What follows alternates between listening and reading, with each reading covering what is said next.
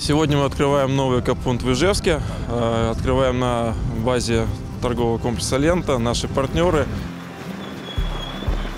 Пока это первый капунт. Э, Всего закуплено оборудование в Ижевске для четырех э, гипермаркетов.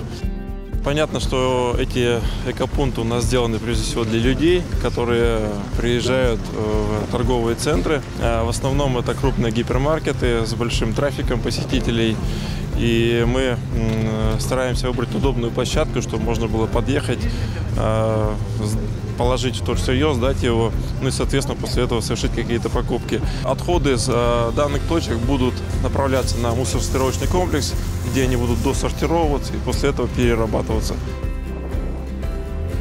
Я думаю, что экология, вот, э, переработка мусора – это такая новая тема в наших отношениях. Я очень доволен тем, что Удмуртия такая передовая э, республика в стране, то есть есть э, осознание этого вопроса, есть и уже конкретная работа ведется, это самое главное. И, конечно, я очень доволен, что и наши компании работают уже в республике.